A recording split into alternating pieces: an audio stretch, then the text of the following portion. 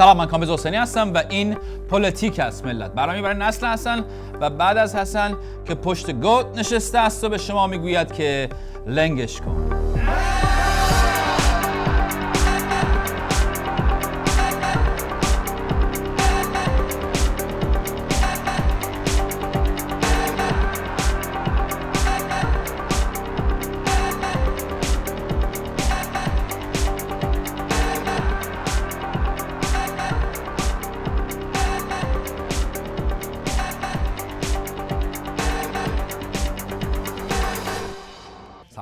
راجع مذاکرات هسته‌ای می‌خوایم صحبت کنیم.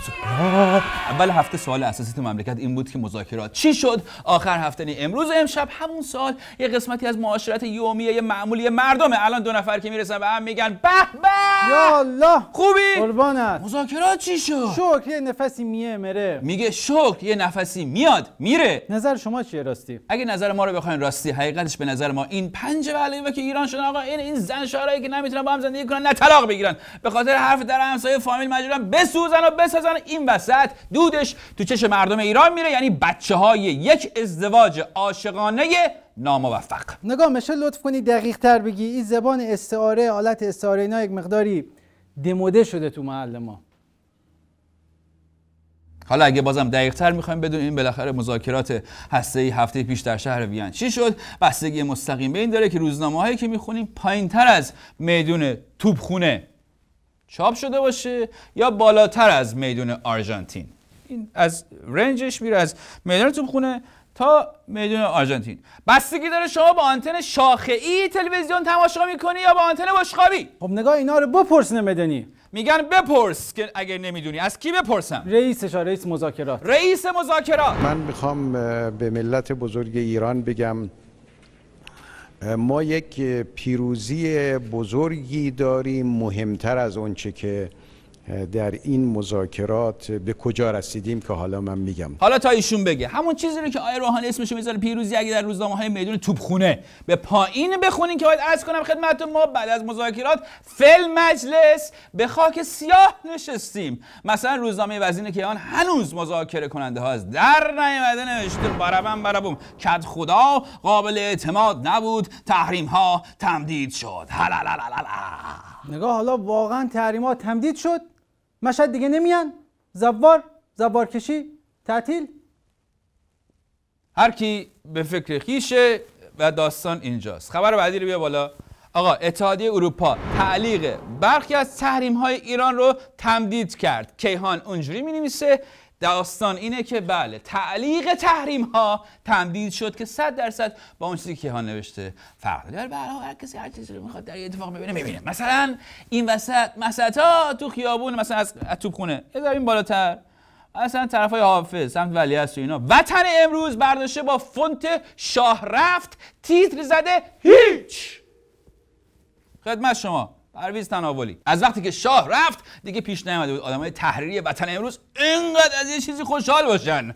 روزنامه سپاه یعنی جوان اگه حساب کنیم مثلا از توپخونه بیا بالا میفته دور میرزای شیرازی اونورا که اصلا نوشت توافق کردن که توافق نکنن. دررم نرم توافق بر سر عدم توافق جامعه حالا اگه مسیرتون تو کنه که سمت میدون آرژانتین اونور افتاد. باز میشه موضع و نظر دولت رو دید البته. مثلا نوشتن دولت موضع نظر دولت. امید امید تمنید امید.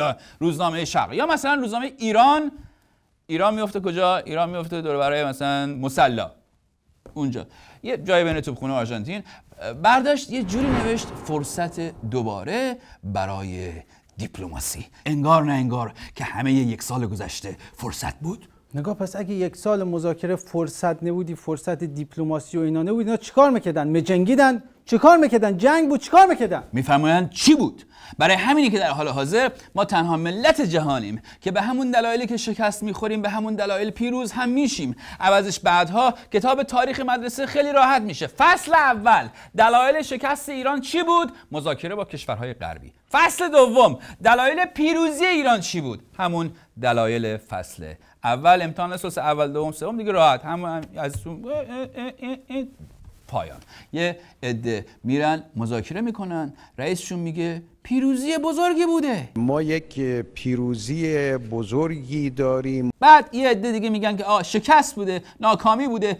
بدون حرف زور نمیشه با آمریکا حرف زد. ابو ترابی فرد نایب رئیس مجلس تنها با زبان قدرت می‌توان با آمریکا صحبت کرد. رادیو فردا. و جالبش اینه که هم اون که میگه پیروزی بزرگی بوده هم اونایی که میگن شکست بوده هر دوتاشون رو این آقا این آقا حکمشون رو زده. آیت الله سید علی خامنه‌ای صبح روحانی میره میگه این نتیجه مذاکرات میگه این یک پیروزی بزرگی داریم. ما یک پیروزی بزرگی داریم. ظهرش آقای توپخونه میره میگه آقا اعتماد نداریم هیچ به هیچ. هرچند آقای روحانی امروز ایران در جایگاهی هستیم. امروز در جایگاهی هستیم که هیچ کس در دنیا نمیگه.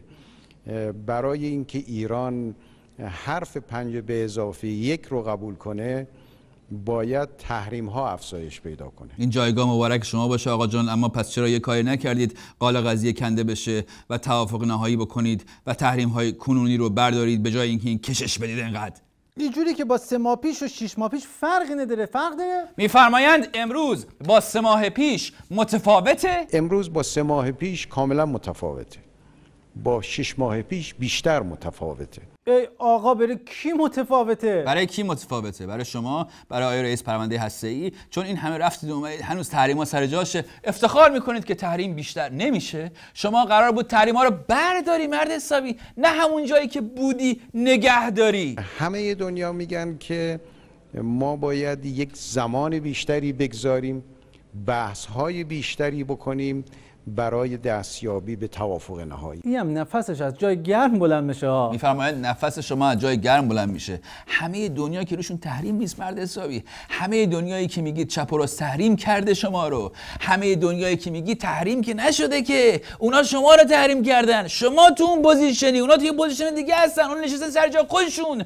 شما باید هر روز بلند شی بری ژنو ویا مسقط نیویورک تحریم ها رو برداری. شما میری پیش اونا اونا نشستن تحریم کردن. چه ربطی؟ حالا همه اینا به مردم ایران داره. ما در این مذاکرات طرف مذاکره کننده ما کاملا قبول داشت که تحریم باید برداشته بشه. این الان موفقیت این الان پیروزیه. قبول داشت که تحریم ها برداشت خب چرا باید بر نداشتن پس شما با تهران راستی راستی با تهران چک کردی؟ بفرما. آقا تهران رو بذار بیا بالا. آیت الله خامنه ای دشمن در قضیه هسته ای نمی‌تواند ایران را به زانو در بیاورد. بله مردم دارن از تحریم و وضع اقتصادی بد رنج می‌برن. برای ایشون اصلا مهم نیست که مردم به زانو در بیان یا نه. ایشون همه هم و غمش دشمن رو کم کنی با دشمن. همینجوری داره های و هوی. برای همینه که بعد از مذاکرات فیروز آبادی رئیس کل اسلحه و تفنگ ملت میگه بیا بالا اینو. راه انقلابی ملت از درون مذاکرات نمیگذرد. روحانی گفت مسائل کشور با مذاکرات حل نمی شود این چه حرف خبرگزاری فارس.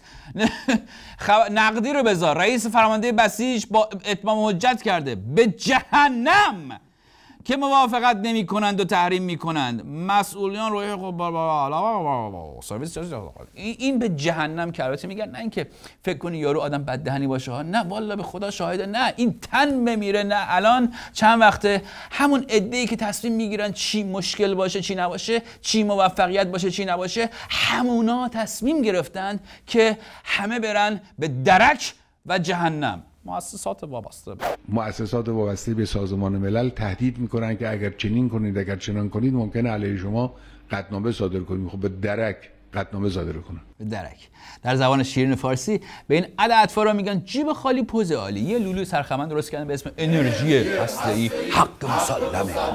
انگار دیگه مردم هیچ حق مسلمی ندارن. انگار زندگی در رفاه و آرامش حقشون نیست. انگار امنیت و آزادی حقشون نیست. اون موقع برای همین لولویی که درست کردن میلیارد میلیارد میلیارد خرج می‌کنن و وقتی آقا همین لولو دنیا رو ترسونده جیبشون هم خالیه پای میز مذاکره میشینن اما تکلیفشون معلوم نیست که آقا چی می‌خوان از این میز مذاکره؟ برای همینه که الان مهمترین مسئله کشور. خدمت شما عرض که اینه که بفهمیم موفقیت در مذاکرات هسته معنیش چیه؟ برای کیه؟ و اگه چی بشه موفقیت حساب میشه. برای کی میشه؟ چون الان این واژه موفقیت دچار سرنوشت واژه و کلمه مشکل شده توی ایران که مثلا یه عده تصمیم میگن که الان مشکل مملکت حجاب باشه. مشکل ساپورت زنها باشه. مشکل سگ ها باشن در ایران. بعد از فرداش مشکل همینیه که خدمتتون گفتن. الان هم همونا تصمیم گرفتن موفقیت این باشه که به هیچ موفقیتی نرسیم. بعدش هم اسمشو بذاریم موفقیت. چون اون آقا که میگه به درک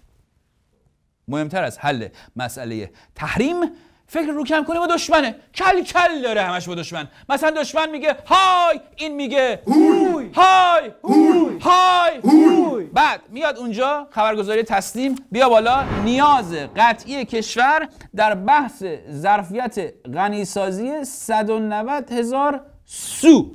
من اصلا نمی‌دونم این آقای رهبر از که مهندس انرژی اتمی شده. این چیزایی که ما تا دیروز نمی‌دونیم سو چیه؟ کوفت چیه؟ سانتریفوژ چیه؟ البته این سو با سوی چراغ خونه مردم خیلی فرق می‌کنه. سایه تحریم و تهدید برای هفت ماه دیگه رو کشور موند. هفت ماهی که هر روزش برای مردم هفت ساله. اگرچه برای مردم تجربه سختی خواهد بود این هفت ماه ولی برای آقای رهبر کلا همه ماجرا یک خاطر است. ایران هم دیگه کل همول اجمعین یک کشور مستقله که وقتی سر حقوق مسلم ملتش میرن مذاکره می‌کنن تمام سران کشور منتظرن نتیجه یه جوری بشه که به بقیه بگن دیدی گفتم. دیدی آقا جان؟ من گفته بودم دیدی من گفتم. این توافق خب نمی‌کنه ما هم اولش همین رو گفتم. شما کی گفتی؟ گفتم همون از در اومدم تو گفتم نگاه، اصلا من دیدی دیدی من گفتم. من گفته بودم این توافق کار. ندارم تو من بلد گفتم. اینجوری تو میشه من می‌دونستم توافق من می‌دونستم نمی‌کنن آخه تو. از کجا می‌دونستی من می‌دونستم توافق نمی‌کنن ما شنیده بودم. میگه میشه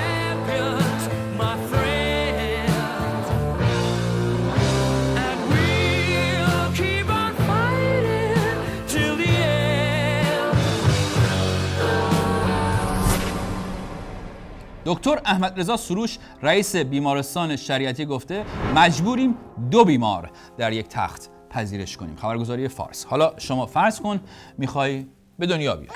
مادرت اومده بیمارستان جا نیست به دنیا بیای. بعد با هر بدبختی که هست با یک مامان دیگه یک تخت باید به دنیا بیای. بعد مثلا وقتی به دنیا آمدی قرار ببرنت از بیمارستان خونه. تو خیابون جا نیست بابات رانندگی کنه. معاون شهرداری تهران گفته وسایل نقلیه عمومی مهمترین مشکل شهر تهران است. خیابون نداری توش رانندگی کنی هی ماشین تولید می‌کنن هی فلان با هر بدبختی که هست از خیابون رد میشی می‌رسی خونه بابات می‌خواد ماشینشو پارک کنه تو خیابون جا نیست ماشین رو پارک کنی. آقای نوروزی از مسئولان شهرداری تهران گفته این شهر در سال 90 با کمبود 500 هزار محل پارکینگ مواجه بود.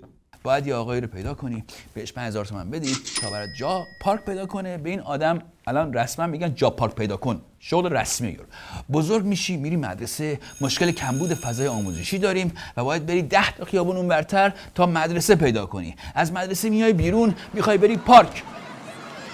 پارک.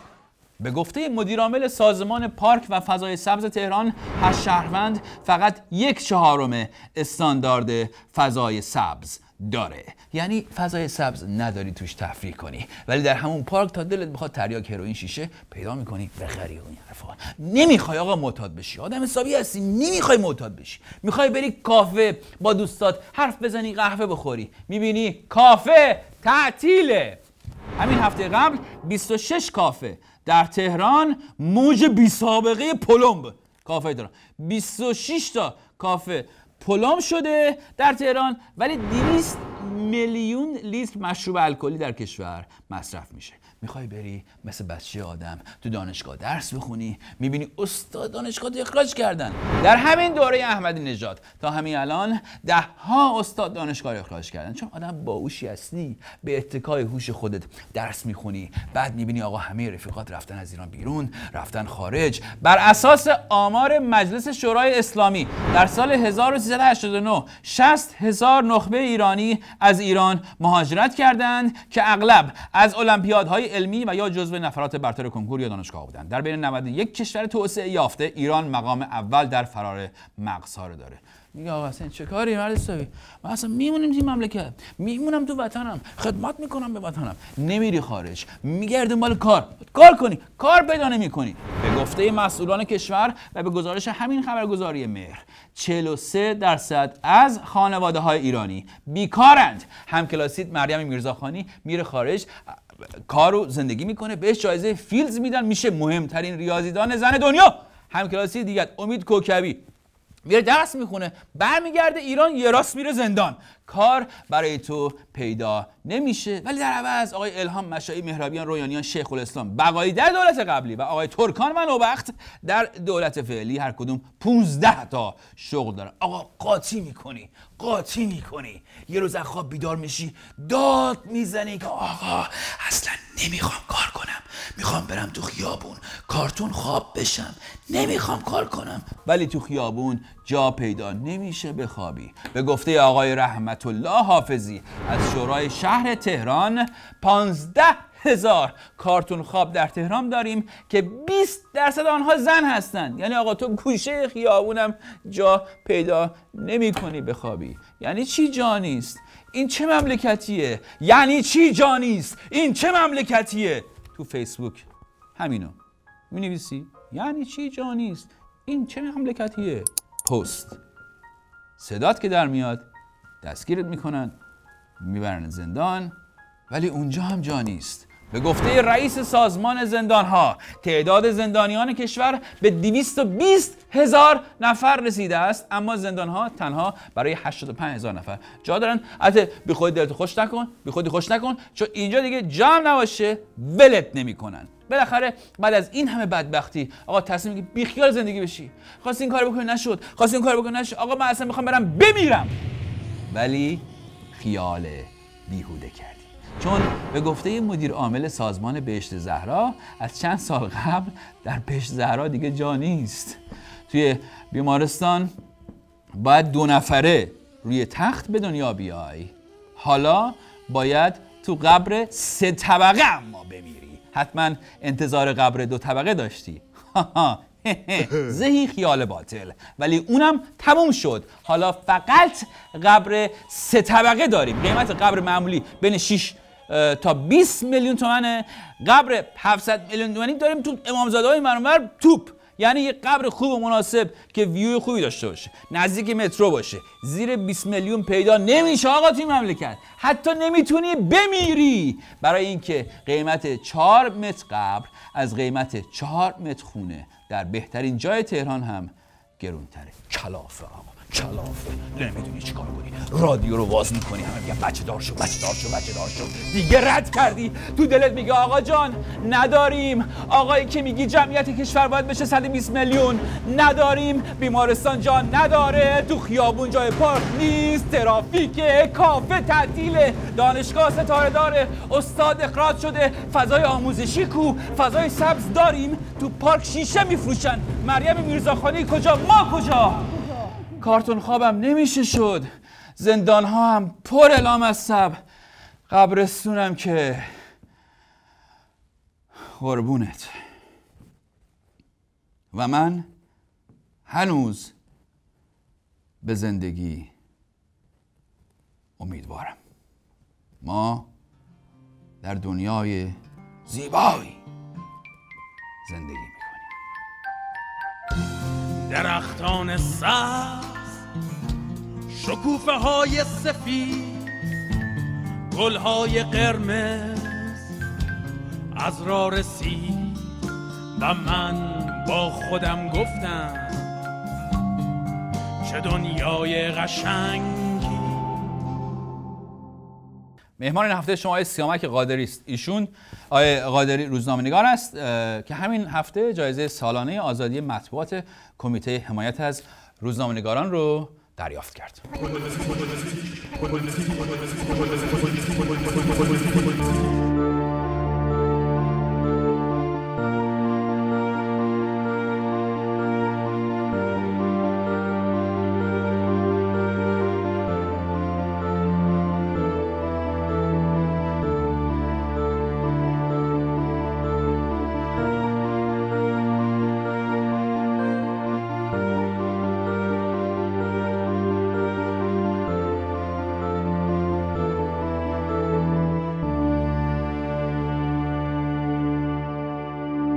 چهار سال زندان بودین در ایران بعد از از اینکه از زندان اومدین بیرون کمیته حمایت از روزنامه‌نگاران به شما و چند روزنامه‌نگار دیگه ام، سه شنبه جایزه سالنش رو اهدا کرد.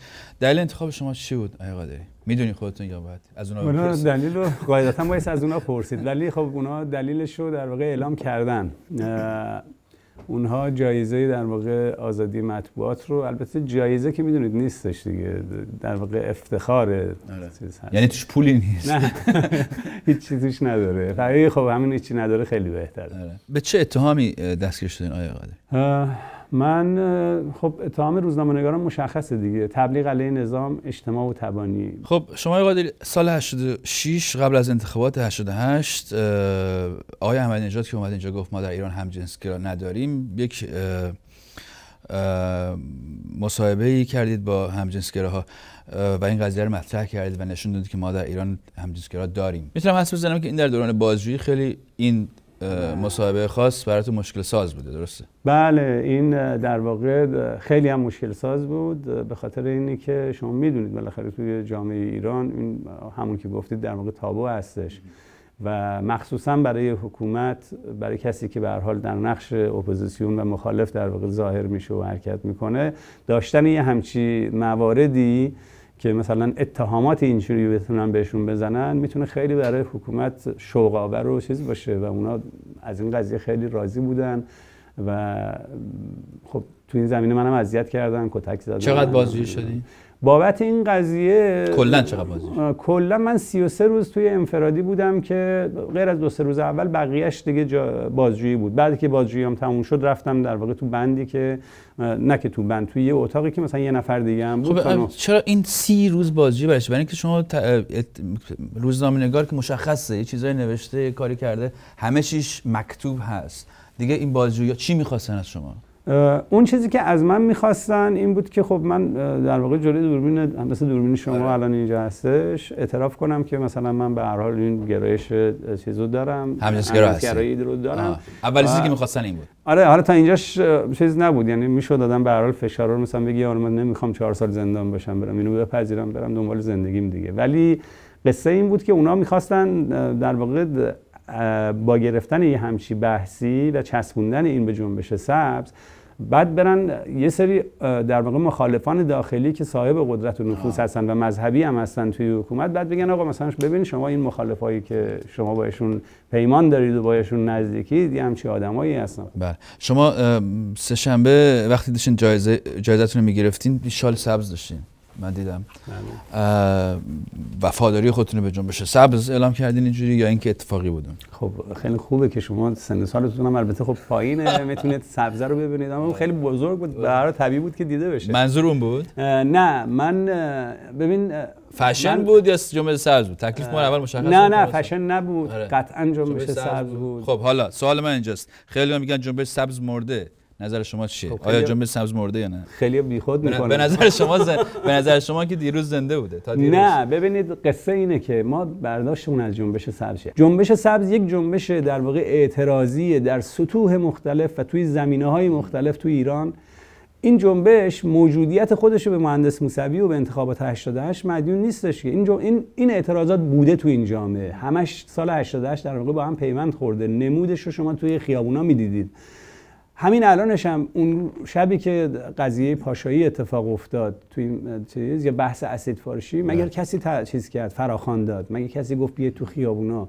این در واقع اون بخش هایی که در واقع اون زیر جنبش هایی که هنوز فعالن توی این مجموعه در واقع جنبش اعتراضی که یک عکت مشترک فعلا ندارن ولی موجودیت خودشون سر جاشون هست. یعنی هدف مشترک فعلا ندارن. اگرچه من معتقدم اعتراض به اون در واقع خیانتی که سال 88 شد همچنان پایدار هستش. یعنی هر هرگاه حکومت اجازه بده بیشتر از اون موقع در واقع میان تو خیابون. اگر جرأت داره حکومت مهندس موسوی رو آزاد کنه بذاره بذار مهندس موسوی صحبت کنه ببینه چه اتفاقی میفته بله. بعد ببینم اونا که میگن جنبش سبز مرده است ببینه واقعا مرده است. مرده که ترس نداره. حالا آها یه آقای قادری میگن که آقای موسوی رو آزاد کنیم ببینید چی میشه حالا نه یه سوال اونجا شما یه سوال دیگه کردید فکر کنم ها گفتید. منظورتون این بود که من این شال سبز کار بدی کردم نه نه کردم. گفتم کار بدی آها. کردیم فقط می‌خواستم ببینم چیه آیا اون هست یا گفتم شاید خوب خیلی میومد بهتون خیلی تیپت خوب شده بود طبیعتا ما هویتمون از گفتم شاید. اون یا شاید جنبش. اعتراضی مردمی حالا سوال اینجاست چطور میشه هم شما این خبرنگار متعهد کسی پای حرفش وایساد زندان شکنجه اینها اه، ب- خبرنگاری هم بالاخره اصولی داره برای خودش. چطور میشه هم خبرنگار بود و هم شال سبز انداخت و از یک جریان سیاسی حمایت کرد؟ این برداشت تفسیر شما چیه این قضیه؟ خیلی ساده است. شما به خبرنگار یعنی کسی که واقعیت ها رو می‌بینه واقعیت ها رو منعکس می‌کنه و در واقع هدفش هم روشنه. رو در واقع افکار عمومی رو می‌خواد در واقع با اطلاعاتی که در واقع با روش های خاص به دست میاره روشن کنه تو این قضیه. چه تباینی داره این قضیه؟ مگر جنبش سبز یک جنبش سیاسی بوده یه حزب سیاسیه که ما مثلا نگران این باشیم. من, من هیچ وقت در واقع گرایش سیاسی نداشتم که بگم مثلا شما جنبش سبز سیاسی نمی‌دید به هیچ وجه جنبش سبز جنبش سیاسی نیست. در سال 88 در واقع جنبش های اعتراضی با همدیگه متحد شدن و در واقع یک روند سیاسی رو دنبال کردن. یه چی یه خیانت آشکار به قانون اساسی. یعنی هر روزنامه نگاری باید در واقع یک بخشی از جنبش سبز بدونه که می‌دونه اینو. شما ببینید حکومت الان با روزنامه نگاران چجوری برخورد داره می‌کنه. اگر با روزنامه نگاران اینجوری داره برخورد می‌کنه که اونا رو زندان می‌کنه تحت فشار می‌ذاره روزنامهشون رو تعطیل می‌کنه معنیش اینه که چی؟ اینا اینا جنبش سبزی ان جنبش سبزی باز معنیش یعنی چی؟ یعنی اینا, اینا واقعیت ها رو میگن. حکومتی که بناش بر فساد و دروغ و تبعیض و تمام این چیزا باشه روزنامه نگار مخالف خودش می‌دونه. خب این روزنامه نگار در واقع جنبش سبزی. حالا سبز نباشه. مهم نیست. رنگ اصلا مهم نیست. مهم اینه که این طرف مردمه طرف اون جاییه که یک میثاقی حکومت با مردم بسته گفته آقا من این حقوق به شما میدم شما هم بذارید من رهبر بشم.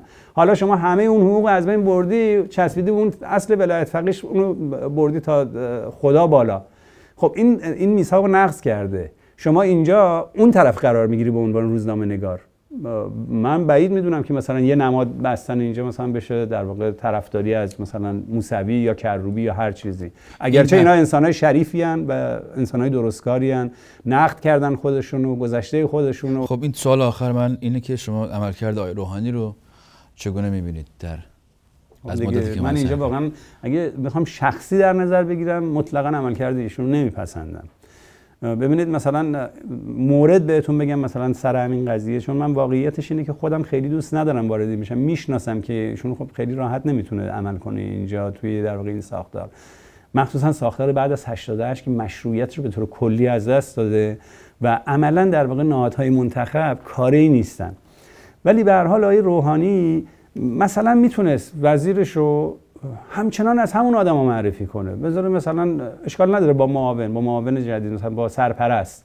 با سرپرست اداره کنه. این پنج تا وزیر عوض کرده اعتماد باشه. چه کارش کنیم دیگه؟ به هر حال. حداقل این بهتر از اینه که شما وزیر بیاره چفیه مثلا داشته باشه. اگر چه چفیه رو انداختن گردنش. ولی ولی ولی گفت من وزیرش گفت من آقای خامنه ای خط قرمز من از فتنه بد است. همه این چیزایی رو که می‌خواستن گفت شفیه رو انداختن تا تونستن قبولش کنن. خب آقای خامنه ای من نمی‌دونم ایشون. اگه مسئول این فجایعی که تو این 8 9 سال 10 سال 15 سال گذشته اتفاق افتاده بحث تحریما بحث این فشارها مسئولیتش با کیه؟ با امام زمان که قطعا نیستش. دیگه. بالاخره یه نفر اینجا نماینده بوده دیگه. دولت هم که کاری نبوده. مجلس هم که کاری نیستش. خب مسئولیت از اگر ایشون خط قرمزش آقای خامنه ای خب یعنی این تصمیمات اشتباهی که برای این حکومت در واقع گرفته شده برای این مردم گرفته شده این همه فشارهایی که اومده و الان شما اینا رو توی بروز مثلا بیماری ها انواع بیماری های روانی سکته های قلبی نمی‌دونم از سرطان. سرطان می‌بینید خب اینا رو اگر ایشون خط قرمزش یا فرده خب این اشتباهه قطعا انتخاب غلطی پس شما آقای روحانی رو موثر بعضی. زمینه ها خب به هر حال تو بحث مذاکرات و اینجور چیزا به هر حال ایشون خیلی با مجاهدت و تلاش داره پیش میره به رغم سختیاش خب باعث بهشون دست مریضات گفت ان که موفق باشن ولی واقعیتش اینه که خواستای مردم اینا نیستش که در واقع دولت داره دنبال می‌کنه آقای سیامک قادری خیلی خوشحال شدم که متشکرم خیلی ممنون که برای. فرصت مرسی. من هفته دیگه در شب تهران آقا خانم دوست آشنا برادر خواهر رفیق دست خاخور دی جان قربان بشم. هوای بغل دستی داشته باش که خبرهای خوبی در راه.